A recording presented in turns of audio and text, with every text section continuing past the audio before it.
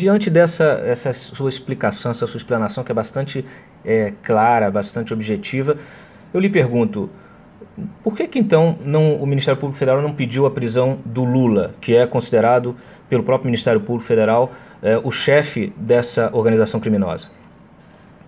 A, a, realização das prisões são sempre analisadas caso a caso, pessoa a pessoa, e se analisa se estão presentes os requisitos ou não. Inclusive se a pessoa tem ainda, mantém a capacidade de influenciar na continuidade da prática de crimes.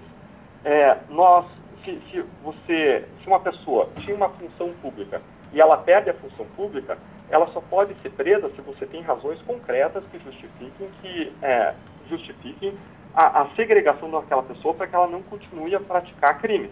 Por exemplo, no caso do, do, do Eduardo Cunha, a, a, mesmo a partir do afastamento dele, é, se fazia necessária, na nossa visão, a prisão dele. Por quê? Porque ele praticou crimes por meio de interpostas pessoas que foram a, a, deputados que ofereceram requerimentos, que, que agiram em nome dele e que continuam na Câmara ou, ou praticando decisões que determinam os rumos do país. Você acha então é, que o Lula não, não, não, não tem mais posso... essa influência para poder.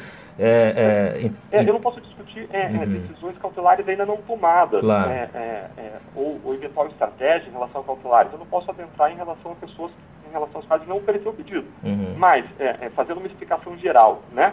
É, é, o que acontece é que a prisão preventiva é excepcional e ela só pode ser utilizada quando presentes todos os requisitos, quando existe uma razão que mostra que a liberdade daquela pessoa é extremamente prejudicial é, é, para a sociedade, ou para a ordem pública, ou porque a pessoa tentou fugir, ou porque a pessoa está destruindo prova ou porque a ordem econômica está sendo abalada é, por aquela pessoa. São basicamente os quatro requisitos que existem. Essa, essas, essas recorrentes é, manifestações é, do presidente, do ex-presidente Lula é, contra a Lava Jato, é, inclusive é, algumas bastante ofensivas, né? ele até está ali processando por aquela é, por aquela coletiva que o senhor deu, com aquela apresentação de PowerPoint, é, bastante didática, inclusive. É, ele está ali processando, pediu é, uma indenização de um milhão de reais.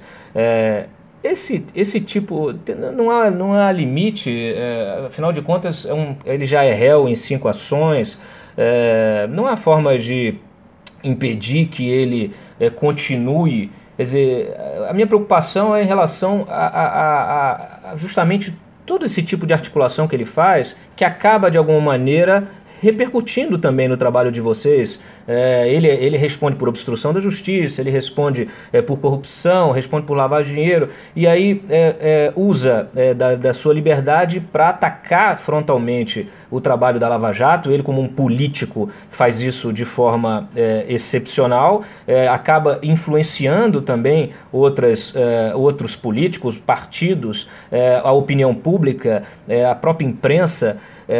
e ainda faz isso através da usando a própria justiça contra uh, vocês que estão tentando cumprir a justiça.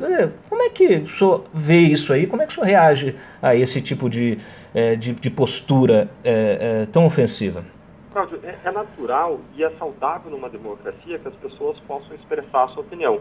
Eu posso até discordar do que ele diz, mas eu defenderei o direito dele, dele de dizê-lo não agora me referindo especificamente em relação a ele, mas me referindo de modo geral em relação a acusados, especialmente políticos processados no Lava Jato, o que nós descobrimos nessa operação ao longo dos anos foi que políticos não são criminosos, políticos não são corruptos, políticos são sempre perseguidos. a, a, quando a, as provas são fortes, os fatos são graves, a investigação foi é, conduzida com regularidade, a, a, defesa que a pessoa tem de usar não é uma defesa jurídica, mas ela usa uma defesa política. Ela vai alegar perseguição, ela vai é, dizer que a investigação é partidária, é, o que não faz qualquer sentido quando nós olhamos o contexto, quando nós olhamos que atuam, nesse caso, centenas de agentes públicos de diferentes origens, numa investigação com, com, em que é, todos estão com uma lupa sobre ela, em que se a gente pisar fora da linha, é, a gente vai ser processado pelo CNT, que é o nosso órgão que, de controle externo da atividade do Ministério Público.